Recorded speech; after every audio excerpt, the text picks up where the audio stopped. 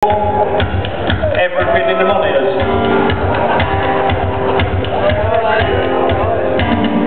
What do you do in the middle of the night when it's dead, dead quiet and your mum's asleep and your dad's asleep and the door is shut, the light is out and the room is dark and the curtain's drawn and you're on your own. Your bed is warm and your dream was rude and your hand's restless and your knob is hard.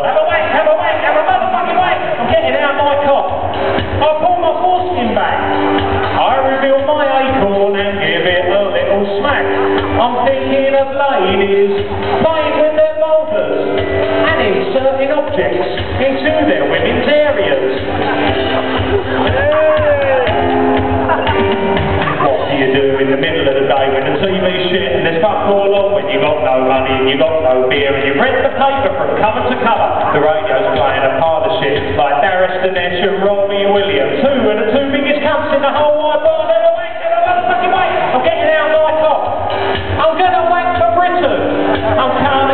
sock, and then I'll put my kit on. I'm wanking as if my life depended on it. I'm picturing some ticks. I'm imagining a clip.